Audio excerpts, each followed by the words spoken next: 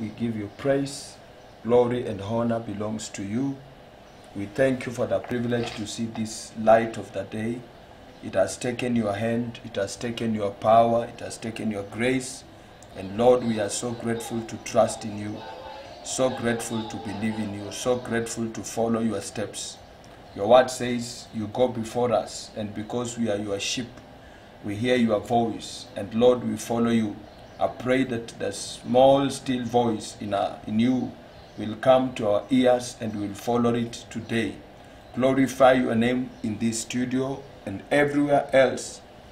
People are following. Father, we pray that you glorify your name, that Lord, you direct our steps. We give you praise and we give you glory. Bless everyone, Lord. Bless everyone that is tuning in. Minister to us. Oh Lord, minister to us, we pray. We surrender to you and ask you to reign, O God. Magnify your name in our midst. Let your voice be clearly heard to us, O God. We thank you. We take authority over spirits, over powers, over the forces of the darkness of this world. We subdue them under our feet this morning, O God, in the name of Jesus, and pray that you reign. O Lord, we pray that you reign this morning. We give you praise. All the glory belongs to you. Reign, Father. We pray that you reign, King of glory. We pray that you manifest your power, manifest your glory, Lord, in the mighty name of Jesus. Lord, we pray that everyone that has put their trust in you, no one will be disappointed. Your mercies are new every morning, and great is your faithfulness. We worship you and we bless you. We nullify anything that devil has arrayed against us today. We nullify by the word of God. We nullify by the power in the blood of Jesus and pray that, Lord, every one of us will experience you in our areas of life. Be magnified. In Jesus' name we pray. Amen. Wow, it's a blessing to be alive and to see the light of the day. God has given us an opportunity to experience His mercies and His grace again. The Bible says, The mercies of God are new every morning, and great is His faithfulness. And so we want to thank God who has been continuously a shield, a buckler, a running place. He's been a source of our strength whenever we run out of strength. The Bible says, Those who wait upon Him, they shall renew their strength. So this morning I pray that your strength will be renewed in God and there will be no reason for, for you to be discouraged. God is very close even to energize. I want us to continue our sharing today's uh, lesson. We want to move every step of our life with the Holy Spirit. We want to move every step of our life with the Holy Spirit. Remember, we want to read Acts of the Apostles, chapter number 19. Uh, the reason why the Apostle Paul asked the question to the brethren of Ephesus in verse number 2. Acts of the Apostles, chapter number 19. Let's read from the Message Bible, verse number 19. The Apostle Paul asked a very strong question here. The first thing he said, the first thing he said was, Did you receive the Holy Spirit when you believed? And then he also said, Did you take God into your mind only? Or did you also impress him with your heart? Did he get inside you? We have never even heard of that. A Holy Spirit, God within us. Amen. That is a question that was posed by the apostle to the brethren of Ephesus, asking them, Did you just embrace God you no, with your mind only? Or you allowed him to be in your heart? But they said they've never heard about the Holy Spirit. So he went ahead to explain to them and then they received him. The question now comes why should we receive the Holy Spirit in our life? It is because we have chosen to be spiritual. God is spirit. And those who follow God, worship Him, they have to worship Him in truth and in the spirit. But number one, why should we follow after God? That is the question we want to address. God has to order our steps, God has to guide us. And so we want to read Romans chapter number 8, verse number 14 and 15, and build on that. Romans 8, Romans 8, We want to read verse number 14 and 15 because from there we will draw our lesson. Number 14 in the Message Bible, the Bible says, God's Spirit beckons. There are things to do, there are places to go. God's Spirit beckons. There are things to do, there are places to go. Powerful interpretation. King James Version says, For as many as are led by the Spirit of God, they are the sons of God. For as many as are led by the Spirit of God, they are the sons of God. Number one point here when the Holy Spirit is not leading you, God is not leading you, and so He is not your Father. So Paul said, as an identity that you have God, you His Spirit has to be new. Why? Because God is interested with our life to lead us. God wants to be in charge. Why? Because He created us. We belong to God. Psalms 24. The Bible says, The earth and the fullness thereof belong to God and the people. He created people that He may guide them. He created people that He may walk with them every step of their life. So the Bible says, As many as are led by the Spirit of God, then they are sons of God. God will only know you are His when He can determine your daily program. So your waking up should be by Him. What exact time are you waking up? Is it by the Spirit or by the flesh? When it is the Spirit of God who is leading us, we will wake up the time of the Spirit. We will go to sleep at the time the Holy Ghost wants us to sleep.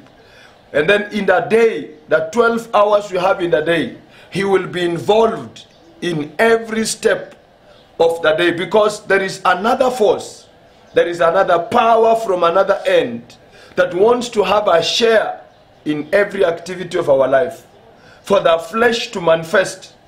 But God is interested to walk into our life through our mind. The mind is the gateway. And then settle in our hearts to walk every step with us. If you have ever seen a successful person, God was behind it.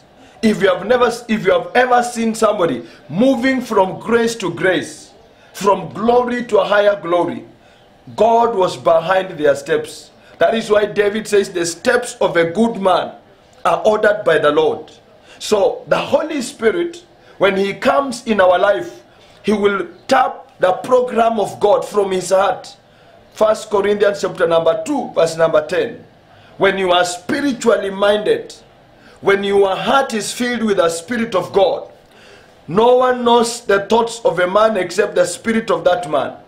And so the Spirit of God knows the thoughts of God. He will pick the thoughts of God and cause, you know, paste them into our heart. He will pick the program of heaven and, you know, cast it into so that you really know what God wants you to do this very day, the following day. So your program will be the heavenly program. Remember, Isaiah says in 55 verse 11, Our thoughts are not his thoughts. In verse number 8, 55 Isaiah. Our thoughts are not his thoughts, neither are our ways his ways. His ways are higher, his thoughts are higher. We don't want to walk on lower ways that are non productive, that are of failure, defeat, with many mistakes. The Holy Spirit wants to come into our life to raise us to the ways of God so that every step we make, we are making with God. And that is why the scripture says, For as many as are led by the Spirit, you have to ask yourself, Did I make the move I made through prayer, through reading the Word of God, through the counsel of the Spirit?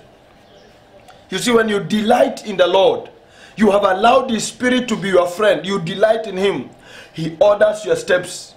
He guides your path. The Bible says, whatsoever thing you do, you prosper because it's God who gave you that step. When God is guiding you, He is happy with you and He guarantees your success and your prosperity. So we say that the, the, the saints in Ephesus were missing the guidance of God. they were without the Holy Spirit. That means they were intellectually looking at things, perhaps through their mind.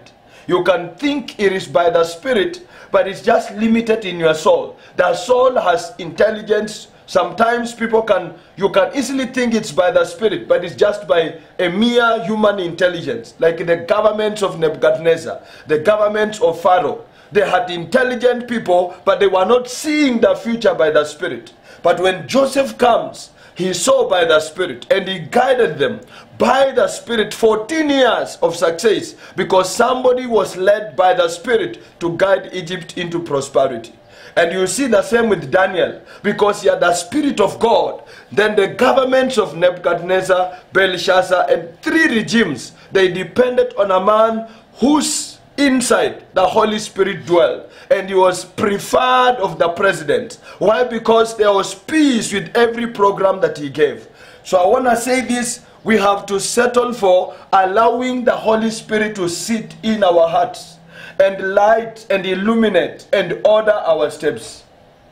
On that same very note, Romans 14, 8 14, remember Psalms 119 verse 105 that says, The word of God is lamp to our feet and light to our path. When the Holy Spirit is in our life, He opens scripture in us. He opens the scriptures we know in us. Every scripture that is required for today, He will give it to you. And that scripture will be the lamp to your feet and light to your path. You need to understand that. When the Holy Spirit, when you are filled with the Holy Spirit, you could have read the Bible, you could have had sermons, you could have everywhere you went and you were taught so many things. But there is a Rhema word for today. There is what you need for your circumstance this day. The work of the Holy Spirit in our life is to light up that scripture, is to bring that scripture to your very moment. Say you are going through a hardship. He will guide you by the word of God not to succumb to the pains of the hardship. He will guide you to the place of prayer or he will guide you to somebody to counsel you. He is with you every step of your way. So the Holy Spirit is your umpire. He's your referee. There is no game on the pitch without a referee. To see those who are stepping on others, to see those who want to score and they are offside. The Holy Spirit in us will help us to move every step with God. Every step, because the word of God is with us, yes, but there is, there is that word for today, the Rhema word, not the logos, the Rhema word, the quickened word. It becomes light to our path and lamp to our feet. So that is the work of the Holy Spirit. You see what it says in the Message Bible, the same scripture. He beckons, He quickens. A scripture comes to you so heavily, and it's telling you, do this. It is telling you, go this direction. The Message Bible on Romans 8 14. A scripture is quickened in you, beckoning you. Go to pray. You just realize you have a heaviness to pray from Joel chapter number 2. You sound an alarm if you are a pastor and a leader of a congregation. A scripture comes to you and you are like, I feel an anointing to lead the church in prayer and fasting. That is how the Holy Spirit leads people. He beckons you. There are things to do, there are places to go. He can quicken you to visit somebody and take something to them. Yet, you'd come to realize later on that person was in need of whatever you are taking there. So, we have to allow the Holy Spirit to come in our life and interact with our spirit. Interact with our spirit so that we are an extension of the Heavenly Father. Look at Romans 8:15. The next verse to 14. We become an extension of the heavens. The hand of God is in us. God is holding us by his right hand so that we are children is the father. You know the father does not go to the shop. The children go to the shop. It is the father who wants uh, items for the family, but the children have to go to the shop. So the father will say, Go, pick this money, go. When we become the children of God, He will use us, He will guide us, He will send us. Isaiah said, I had a conversation in heaven. God asking, Whom will I send? When the Holy Spirit is in you, you will hear that conversation. Today, you just didn't wake up. He has spoken to you. He is guiding you. So you are a son in the kingdom of God that the Father can take you and the Father can bring you back. So you will hear You see, you will hear his voice because his spirit is in you. You will hear his voice. And after you have finished the first assignment, in the evening you tell him, Papa or Father, what is it that I have to do the following day? Because you are being led, you are being guided by the Holy Spirit. So I wonder why the, the, the, brethren in Ephesus were without him and they were like, we've never even heard about him. It makes me to talk about the Holy Spirit every day. He comes to remind us. He comes to counsel us. He comes to guide us. But I want to say this most importantly, every program we have every day is able to guide us because we are children and God is our Father. Look at King James Version on the same verse, Romans 8:15. For we have not received the spirit of bondage again to fear, but have received the spirit of adoption, whereby we cry, Abba, Father. We have been adopted into a family. God is the Father. When you live in a certain home, the father of the home is the one who runs the programs. The rest of the children, the workers, they receive a program from the head of the family. So when we receive the Holy Spirit, we are adopted. We were of the world. We now become children of God. Our Father who is God, He has a program. He has an agenda. He has a specific path He wants us to take, the specific role He wants us to, to play. And every day, by His still small voice, He will speak to His children Son, go this direction. And when God leads you in a direction, success is guaranteed. Prosperity is guaranteed. So you see many people making mistakes. They have not listened to him. That is why we go to him in prayer. Early in the morning. Bible says in Proverbs 8:17, those who seek him early in the morning, they will find him. You have to ask the Father by the Spirit. What program do you have for me today? Because I need success, I need to prosper, I need to succeed, whatever you need because we are now sons in the kingdom. We emphasize that we are now sons in the kingdom. The Spirit of God bears witness with our spirit that we are children of God. Verse number 16. If you are a child of God, yes, if you are a child of God, God must lead you. If you are a child of God, you follow the program of your father. You cannot run a program in a home that is not yours. You only have to follow the program of the one who is your father, the one who is the head. The body does not run itself, it receives instruction from the brain. God is the head, God is the, the one in charge. It is Him to determine our steps. And as I said, when you see people living and moving from grace to grace, from level to level, it is because there is one stronger than them who is giving them a stronger program. There is one higher than them who is giving them powerful thoughts. So relinquish that position you have where you guide yourself and allow the Holy Spirit to settle on your heart, to guide you, to direct you, to advise you, to be your counselor. He's a counselor. Bible talks about him as a counselor and is given to us to direct our paths. I want to speak to somebody that woke up today. You are confused in your place of work. Calm down. Speak some few words to the Holy Spirit and tell him, show me the program in this place of work. Let me have the best program ever for this day. And I tell you, before long, in 20 minutes time, your mind will be refreshed. Your spirit will be, you know, rejuvenated by the power of the Holy Spirit. And I want to tell you, you will only hear your boss, if you have a boss in a place of work telling you you are right. What you are doing is right because you will be led, governed directed by the Holy Spirit. Every company you think belongs to somebody, he is only a steward. That company belongs to God. God will give you the best thought for that company, guided by the principles of the company, but God will explain them so clearly to you. And when you interpret them well, like Joseph, you will be at the top. So we need to be children of God how? When the Spirit of God is guiding us. We need to be children of God when the Holy Spirit is holding us by the right hand of God. Every step we make. You see, when you are holding a child's hand, they don't make mistakes in walking, they follow your path. When the Holy Spirit is in us, the hand of God is holding us, the hand of God is guiding us. God is taking us every step we take. We have to be very careful to, to, to know God is with me. Because one of the indicators is the peace of God. When you have peace with what you are doing, many times you have peace and you've been praying and you have peace with what you are doing, God is in what you are doing. The Holy Spirit is giving you that peace. He's speaking to you and he's telling you, right, you are a child of God. Look at verse number 16. Romans 8 16. The Spirit itself beareth witness with our spirit that we are children of God. And if children, then heirs, heirs of God and joint heirs with Christ, if so be that we suffer with him, that we may also be glorified with him. Now, we are children of God. The Spirit of God in us witnesses with our spirit. He bears witness. You are not yourself, you are a child of God. Wonderful. It is a powerful thing to be a child of God. Beloved, it is a powerful thing to be a child of God.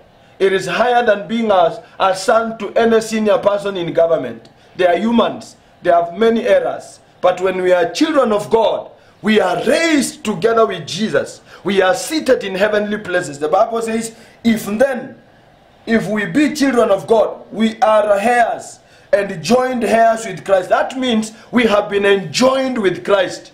And as he was resurrecting, receiving a new body, we have also been given a new body, a spiritual body.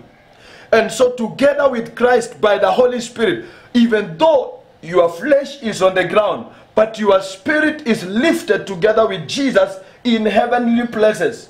Your perspective on things is far higher than the perspective of ordinary people. Your thoughts are super. Why? They are guided by God, guided by the Word of God. That is why Daniel and his three friends, they were 10 times better when given an exam. After a period of time, they refused to defile themselves with the foods of Babylon and they were given an exam. Being guided by God because they were praying, they were 10 times better. So it is advantageous for you to surrender to the Holy Spirit. By all means, in your home, in your place of work, in ministry, you will realize you just have your own standard. God's standard becomes your portion. I pray that you be led by the Spirit. It is so good to be led by the Spirit. He guides us and He raises our standard higher. You may just appear to be the man people know, but after people come to analyze between you and others, you will realize you are several steps better. You are 10 times, you are several times better. Why? The one who is in you. Greater is He that is in you. Powerful is He that is in you. Intelligent is He that is in you. The Holy Spirit. He brings Jesus into you. Every exam Jesus was given by Pharisees, they scored zero. He got marks.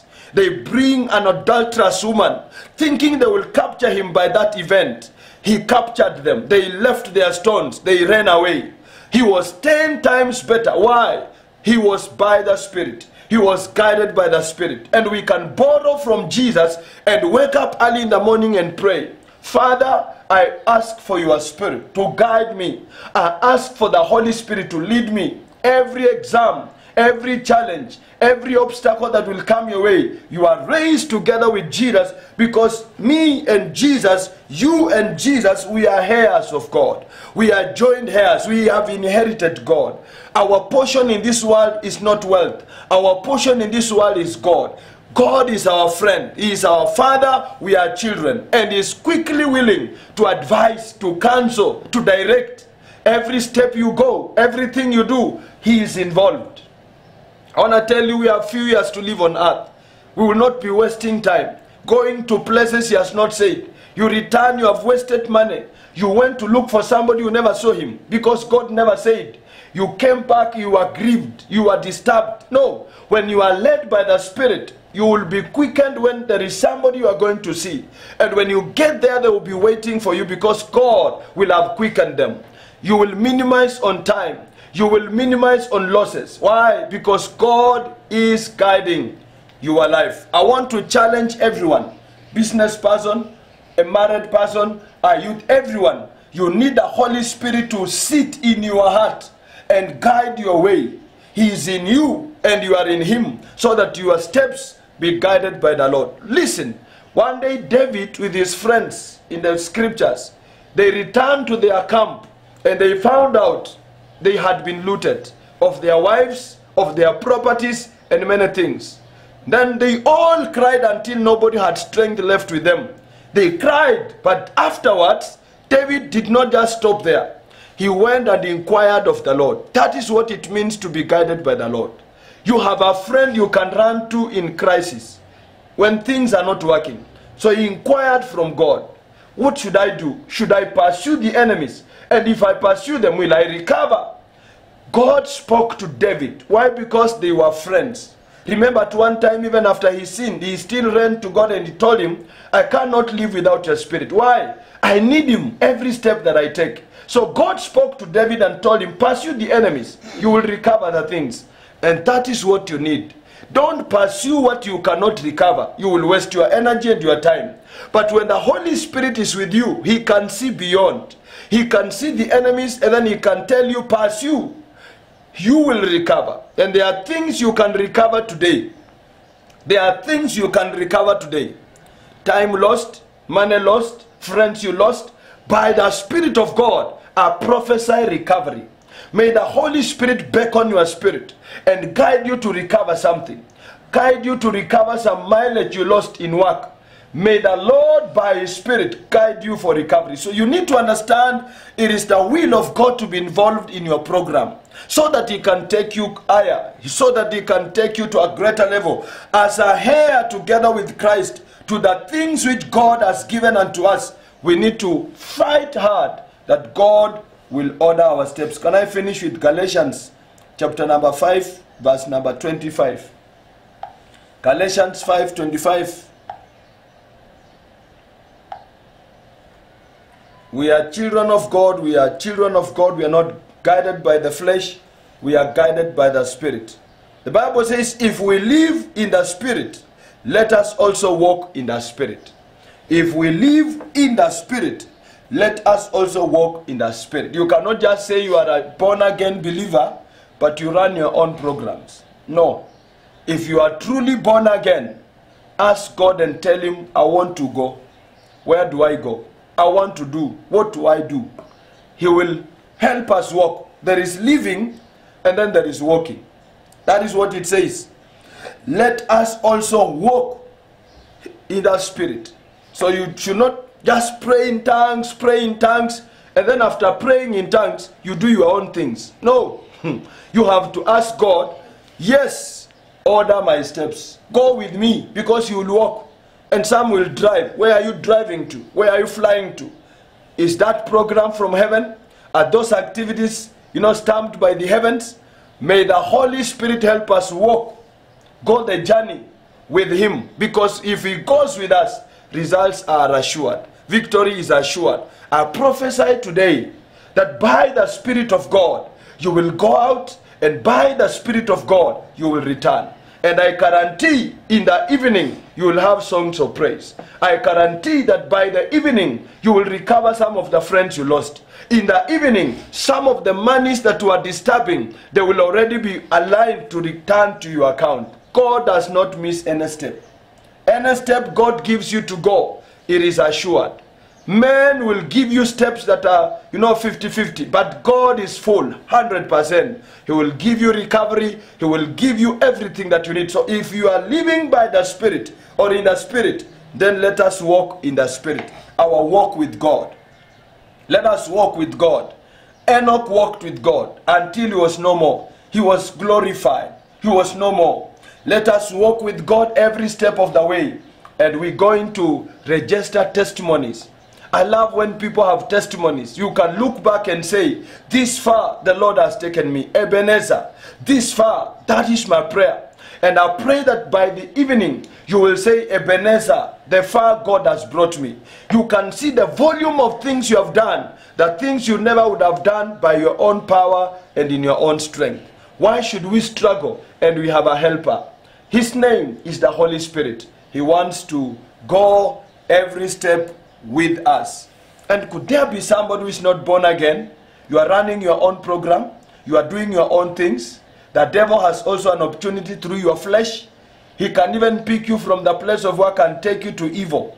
You come back guilty. You cannot even do anything. You are almost being threatened with a sack because you are drunk, because you are found in evil. No, you have room to allow the Holy Spirit to reign in you and to help you overcome habits that are bad, character that is not of God. The Holy Spirit will help you to overcome and you live a peaceful life. You only need to give your life to Jesus. After He gets into you and you are born again, His Spirit will come to abide. And when He abides, He will go every step with you. It is by you believing Jesus that He died and you believe that He resurrected. You will be born again. We were not born born again. We were born ordinary people. We gave our life to Jesus. But every day, His Spirit is guiding our life. And today is your day if you are not born again. You will have to repeat this prayer of salvation after me. Say, Lord Jesus, I'm a sinner and I ask you to come into my life. Come into my life and change me. I am born again, forgiven, and filled with your spirit. Amen. If you pray that prayer, God has put his spirit in you, Ephesians 1.14, as a stamp, as a seal that you are his. When he sees his spirit in you, it is a sign that you are his and that in future you have a bigger inheritance, the full measure of what God has in store for you. So by the spirit of God, you're going to prosper, you're going to excel, you're going to see the light in the darkness of your life. God wants to light our way. God wants to light our way. We are going to see many good things happen in our life. Amen. I want to speak a blessing to everyone that has been following.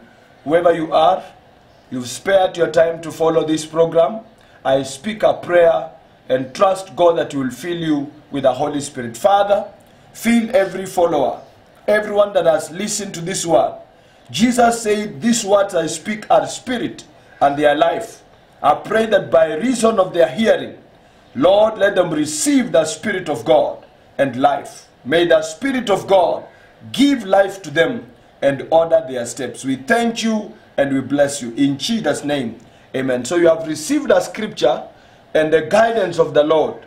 That is life and that is spirit. Walk in that direction and the Lord will bless you. Welcome you to our fellowship on Sunday, 6.30 and then up to 9.30 and then from 9.30 to, to, to, to, to midday. We are there teaching and praying together and allowing God to guide our steps as we prosper in this land. You are most welcome. Come with a friend. Those who are within uh, Jomvu, from Mikindani side, alight at the Catholic Pope Francis Church. On the left, you ask for JCC, and then you will see God. Uh, you will see God blessing you as you come to fellowship with us. You can give an offering. There are numbers on your screens to help you serve the Lord. We love to fellowship with God with what He has given us, and He has never failed to bless our life. The Lord bless you. May the Lord order your steps. Bye bye.